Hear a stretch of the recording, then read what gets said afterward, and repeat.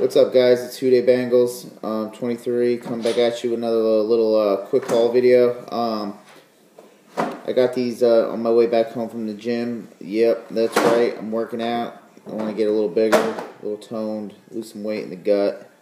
Um, so, anyways, stopped by my uh, Walmart and they had some new Matchbox on the pegs, and I picked up this Matchbox City garbage grinder. Pretty dope little uh, garbage truck. Got like a forestry scene on it. A little bush grill.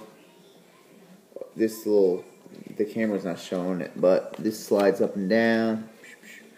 Um, then I got this tractor plow um, by Matchbox National Park line. Um, it's all metal. It's pretty uh, heavy casting. Um, and it's got a metal uh, shovel.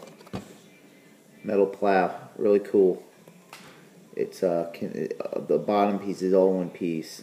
Um, correct me if I'm wrong, but I'm pretty sure uh, from the package it looks like the body's metal also. Um, then I got this pretty sweet ass uh, car, the Matchbox Mountain, the Hummer H3.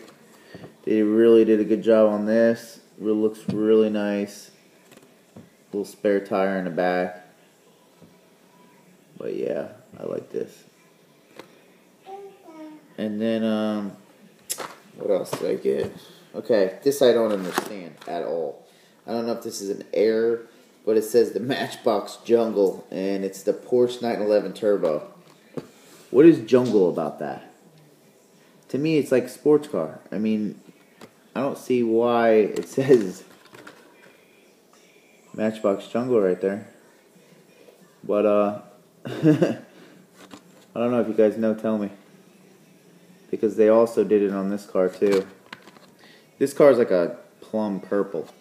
Um, and then they also did it on this, the Fisker Karma Ever, EVR, whatever.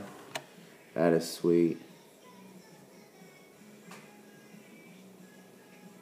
Really nice. I like the wheels on this. Back end. Um, it says Matchbox Airport why does this car have to do anything with an airport? Unless maybe some rich guy parked it on his way to the plane. But, uh, I highly doubt it. Um, alright. I hope you guys enjoy. Bye bye.